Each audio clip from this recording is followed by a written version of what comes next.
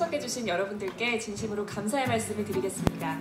저는 오늘 진행을 맡은 MBC 아나운서 박연경입니다. 만나서 반갑습니다. 네, 바로 오늘 밤이죠. 8시 55분 첫 방송되는 MBC 새 수목 미니 시리즈 타자 있는 인간들은 꽃미남 혐오증 여자와 외모 강박증 남자가 만나서 서로의 지독한 편견과 오해를 극복하면서 진정한 사랑을 찾게 되는 신개념 명랑 쾌활 로맨틱 코미디 드라마입니다.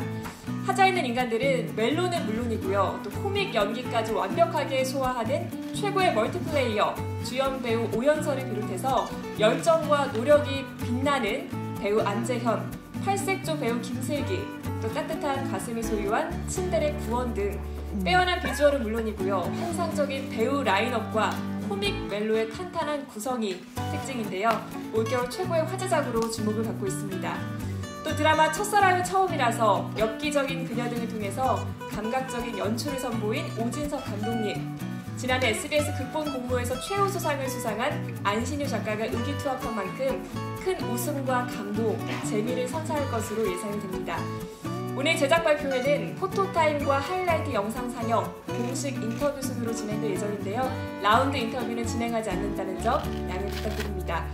또한 본 제작 발표회는 IMBC 공식 홈페이지, 페이스북 라이브, 네이버 V 라이브를 통해서 생중계됨을 전해드립니다. 자, 진행에 앞서서 오늘 제작 발표에 참석해주신 MBC 관계자 여러분들을 소개해드리도록 하겠습니다.